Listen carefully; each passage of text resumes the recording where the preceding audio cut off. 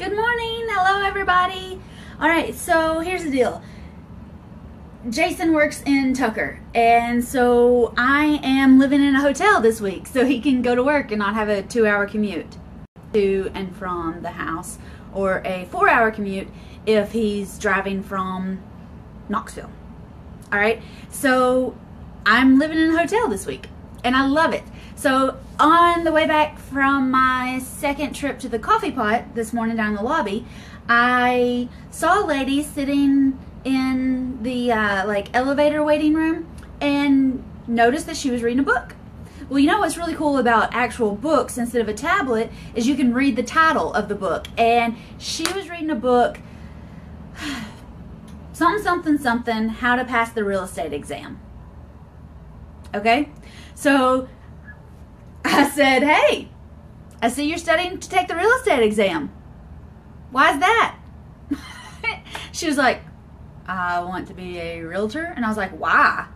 And she was like, Because I want to buy houses. And I was like, Oh my gosh, you're one of those. Why would you think that having a real estate license would help you become a real estate investor? Because in real estate class, and y'all trust me on this, I've been through a lot of them in real estate class, they teach you how to be a realtor. They do not teach you how to be a real estate investor. They teach you how to stay out of jail. They teach you how to fill out the contracts. They feel they teach you how many square feet are in an acre. It's forty five thousand and some change. They don't teach you a formula to go out and buy houses. They don't show you what kind of email list you need to be on to get deals sent to you. They don't show you you know how to talk to wholesalers. They don't show you how to talk to for sale by owners. They real estate school, regular real estate school where you go out, you take an exam, you pay a bunch of money and you get a real estate license to hang on the wall so you can split your commissions with your broker. They teach you how to be a realtor. Nothing about and y'all correct me if I'm wrong on this, but when I was in real estate school and all my continuing education, nobody has ever taught me how to be a real estate investor. So, if you want to be a real estate professional, if you want to be a realtor, if you want to be a real estate agent, and you want to represent other people when they're buying and selling properties, then go get your license pay your fees, pay your dues, get your E&O insurance, sign up with a broker, and do your thing. But if you want to be a real estate investor, then you need to go to real estate investing school. Do you know how much it costs to get a real estate license and to maintain a real estate license? Because for the same price that you could get a real estate license, you could learn how to flip houses. You could learn how to rent property. You could learn the formulas that real estate investors use so that they have monthly cash flow coming in from real estate investments. So, if you want to be a real estate investor, skip regular real estate agent school, skip all of that stuff, and become a real estate investor. If that's what you want to be, if your ultimate goal is to be a landlord or your ultimate goal is to flip houses or your ultimate goal is to be a private money lender, whatever your ultimate goal is, start going after that. And if you want to be a real estate investor, if you want to flip houses, if you want to get an HGTV show, if you want to learn, you know, the ins and outs of real estate investing, then become a real estate investor. Do not become a real estate agent. Okay? Real estate agents represent real estate investors. Real estate agents make pennies on the dollar compared to every real estate investor, every successful real estate investor I know. Okay? You do not need a real estate license to be a real estate investor. Anybody over the age of 18 in America can sign a real estate contract to buy or sell land. You do not need a license. Having a license is not going to give you the inside track on good properties. Okay? It's going to give you a lot more fees. So if you want to be a real estate investor, skip the real estate license. Let a, let a real estate agent represent you if you want to because I promise they're going to make a $1,000 and you're going to make 20000 They're going to pay licensing fees. They're going to pay for insurance. They're going to go to continuing education. They're going to get all these things that you don't need or have time for. If you're going to be a real estate investor, then go be a real estate investor.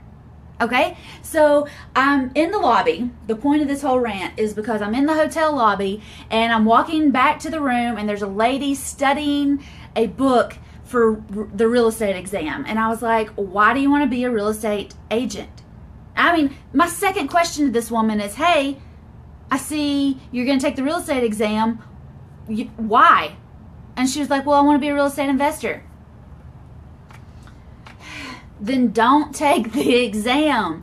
Go find somebody who can teach you how to be a real estate investor. All right? I teach women how to be a real estate investor. I teach women how to get a cash flowing real estate portfolio in 12 weeks or less. All right? So if you want to make money in real estate, if you want to make pennies on the dollar, sure, go get a license. I am a control freak.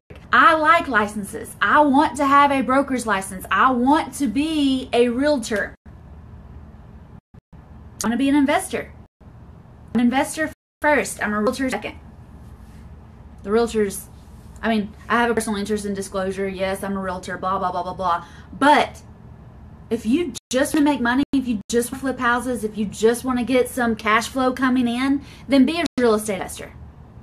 Skip the license. You don't need it. You don't need a license to be a real estate investor. Anybody over the age of 18 in America can buy and sell properties without being represented.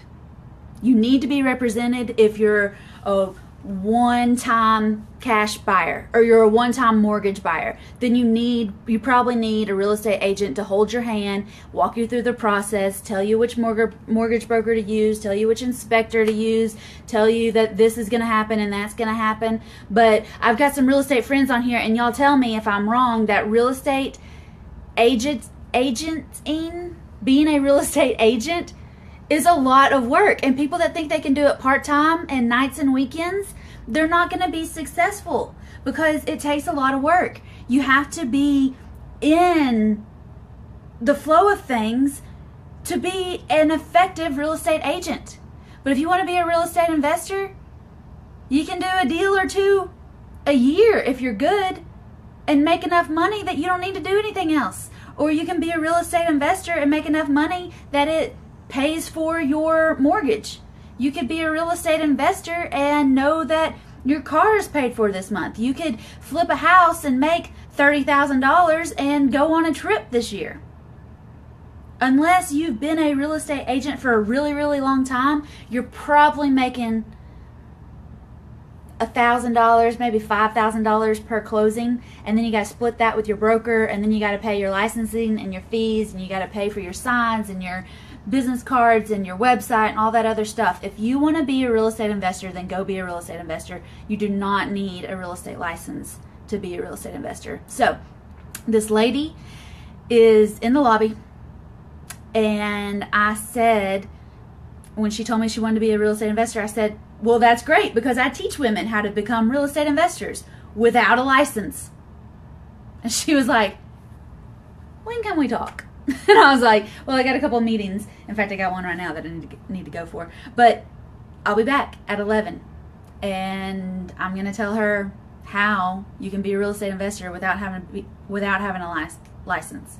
If you want to represent other people buying and selling properties, then yes, you need a real estate license. But if you want to be your own buyer or seller, if you're a control freak like me and you don't really want everybody all up in your business all the time and telling you when you need to close and all this pressure and all these restrictions and all this stuff, then be a real estate investor. If your ultimate goal is to be a real estate investor, then go be a real estate investor. If your ultimate goal is to show houses on Sundays and tell people that this is the kitchen and now we're in the bathroom, then go be a real estate agent okay? Because real estate investors are making too much money for that little nonsense. Tell me how I know. All right. Uh, complete rampage this morning. Sorry. Hope you enjoyed it. And I'm not really sorry, but Also, I have a problem with wholesalers. wholesalers, whew, wholesaling does not make you any money. So if you don't want to go through the process to get a license and you just want to be a wholesaler so that you can tiptoe into the process, you're not going to make any money. Because there's professional wholesalers out there and they are making 30 grand a flip. And the only difference to me between a wholesaler and an agent is one's license and one's not. Because ultimately wholesalers if they're if they don't have a closing then they don't make a check. If agents don't have a new listing and they don't have a closing then they don't make a check. So if you want to live like that, then you can be a wholesaler and you can be an agent. But if you want some recurring cash flow coming in so that you don't have to worry about your nine to five or you don't have to worry about, you know, another expense coming up this month and you just want to kind of kick it, be a real estate investor. Get that cash flow coming in. Be a landlord. Be a be a collector of money if that's what you want to do. Because having that money come in on a monthly recurring basis that nah, I did basically a lot of work for a long time ago is amazing and it is so freeing. Okay? So if you want to be a real estate investor, go be a real estate investor. If you want that money coming in every month by the 5th of the month and then you get to kick it, go do another deal for the next 3 weeks, then be a real estate investor. But if you want to hustle and you want to work really, really hard and you want to get paid once a month or once a week from somebody else's, you know, million dollar hustle, then be an agent or be a wholesaler. But in my opinion, agents and wholesalers don't make any money. They are one hit wonders, especially if you're an agent that's dealing with first time home buyers. Okay, if you're working with a first time home buyer, how many people are first time home buyers? There's a lot of us, right? But we aren't continually buying and selling and being first time home buyers. Investors are continuously buying and selling. So if you want to be a real estate agent, then partner yourself up with an investor so you can represent them, so you can do all of their gopher work, so that you can do the investing side okay? Or so that you know you have one or five clients and they're going to buy or sell something twice a month. So if you want to be an agent be an investor's agent but a good real estate investor will only use a real estate agent who is also an investor. Jason says this all the time. If you're going to hire a real estate agent ask them what their portfolio looks like. Because the really good real estate agents have either built themselves up to be the brokers so they have lots of minions working under them so that they get that money coming in every month or they have worked themselves up to being a landlord so that they have the steady income coming in so that they're a collector of money they're a collector of properties they're a collector of rent and they have that money coming in okay the real estate agents that have really made it have figured out that the best way to get ahead in real estate is to be the owner is to be the investor. So a lot of real estate agents get into it because they want to be investors and then they figure out, oh crap, I don't really need this license. Now I got all this other stuff that I got to do when I could have just become an investor. All right, so if you want to be an investor, find an investor who will teach you how to be an investor. If you're a lady, I will teach you how to be an investor. If you're a fella, then uh, Ramon Tukes and Brandon Wigley and Jay Morrison and Jay Conner and Ron LeGrand and John Ionati. They will all teach the men how to be an investor. Um, and there's some other ladies, Sonia Booker, Carol Sankar, um, Cindy Dumire, Stephanie Ionati. There's a lot of ladies that can teach you how to be a real estate investor. Personally, I like my style better. but you know, that's just me. So, if you want to be a real estate investor, I will be glad to teach you how to be a real estate investor. But please stop telling me that you want to get a real estate license so that you can be a real estate investor. That's like saying, I want to be a I want to be a um, I mean, that's like saying, well, I'm having a hard time with this. You know, if you want to be an orthodontist, you need to be a dentist first, right? But if you want to be a real estate investor, you do not need to be a real estate agent first. It's not a step by step program. If you want to be a real estate investor, then go be a real estate investor. You don't need a real estate license. And you will spend as much getting a real estate license as you will to get into my course this month. Um, and my uh, real estate agent friends are on here. Y'all tell me if it's more fun to be the real estate agent or to be the real estate investor in a transaction. Because 100 to 1, I love being the investor. Oh, crap. My connection's weak. All right. I'm off my high horse. I'm going to go talk to this lady that's in the lobby studying for her real estate exam because she wants to be a real estate investor. And I'm basically going to tell her everything I just told you. You don't need a real estate license. Thank you, Justin Bailey. Here's one of the top real estate agents in Knoxville saying that an investor, 100%. Please help me spread the word that it is so much better every single time to be the investor instead of the agent. And why people, Justin, maybe you can help me. Why do people, Justin can probably teach you if you're a man in Knoxville and you want to teach, you want to learn how to be an investor, he will probably be able to teach you how to be an investor. But I don't understand how that works. And if I had a dime for every time somebody told me that they wanted their real estate license so they could be a real estate investor, I could pay for this hotel room this week. So if you want to be the investor, go be the investor. Um, Justin and his mom are fabulous investors. Okay, they pretty much wrote the book on it in Knoxville. So learn from an investor if you want to be an investor. That's my public service announcement for the day. You do not need a real estate license to be a real estate investor. Um, and I'm going to go talk to this lady in the lobby because I think everybody needs a real estate portfolio. I'll tell you two reasons why a woman needs a real estate portfolio over a man, too. And this is why I work with women instead of men. I also like women more than men sometimes. I'm training my husband, I don't have time to train anybody else's. But, okay, one reason is scientifically, women live longer than men. All right, in America, a woman is going to outlive her mate, and that's just science. I don't know who proved that, but for a long, long time, it's been proven that women are going to outlive their husband. And so, if you're going to live longer, you need your money to last longer.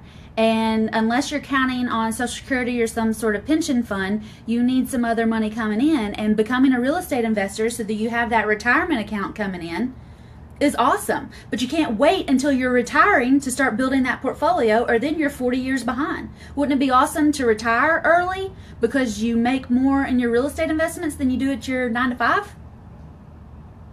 The second reason a woman needs a real estate portfolio is because,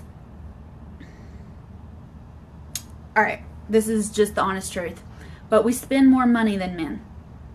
okay? I know that getting ready in the morning, all things being equal, I will spend more money getting ready every morning than Jason will because I use more products in the shower and my products are more expensive than his. I have to use the $18 shampoo bottle when he can use the $4 shampoo bottle. Okay, boom. I made more I spent more money.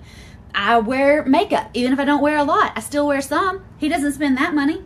I, my clothes. He wears very nice clothes. So do I. Guess who spends more money on clothes? Okay? I spend more money than my husband. And here's another example of how I spend more money than Jason. Pulled up to Food City one day, sent him in after a pack of bacon. Guess what he comes back out with? He comes back out with a pack of bacon. So, uh oh, my connection's weak again. So, if you send me in the store for a pack of bacon, guess what I come back out with? I come back out with a pack of bacon. I come out with cinnamon rolls, more shampoo because it was a buy one, get one free. I come out with uh, something for breakfast. I come out with some drinks, probably a fruit tray, maybe a vegetable tray. So I spent also the time. He was in there in like five minutes, in and out. I was in for there for like 30 or 45 minutes because I found all sorts of people to talk to. Okay? And if time is money, then I just wasted more time than he did. And I had a $100 pack of bacon, whereas he had a $5 pack of bacon. All right? So if we're going to spend more money and we're going to live longer, we need a real estate portfolio. Every woman needs a real estate portfolio because more than likely you're going to live longer than your husband. And this is not scientific, this is just my own social experiment. You're going to spend more money than your husband. Okay? If you want that if you want to make money in your pajamas, just like Justin said, if you want to make money in your pajamas, be a real estate investor. I wake up on the first of the month and I've got money in my account. I wake up on the fifth of the month and I've got more money in my account. I just woke up. I'm still in my pajamas, just like Justin said. I'm in my pajamas. I made money. And then for the rest of the month, I can go find something else to buy so that I make more money next month. Right? That's how real estate investing works. All right, I'm really done now. If you have any questions, if you want to get into my program, go to allaboutrei.com and fill out the application so that you can get into my system. If you're a lady, if you're a fella, contact Justin. He can help you. Contact Ramon Tukes. Contact uh, Jay Conner. He did a video earlier today on Facebook. Contact Ron LeGrand. Contact uh, John Ionati, all of them. But if you're a lady, and I hope Carol and Sonia and uh, Cindy and all the other ladies making money in real estate, I hope they see this because they are fabulous to learn from. Um, I just, again, I like my program too. so if you are a lady and you want to learn how to make money in real estate, allaboutrei.com. I saw Sherry was on here. She's one of my students right now. And I'll find, Justin's mentioned some ways that you can find properties without using an agent and that's what I specialize in is finding six different ways to find off-market properties. And being an agent is fun and great and stressful. Being an investor is fun and great and stressful, but the money comes back 10 or 20 times versus what it would come back as a regular agent. So get a license if you want it, but if you want to be an investor, go be an investor. All right. Bye, y'all. Have a great day. Happy investing.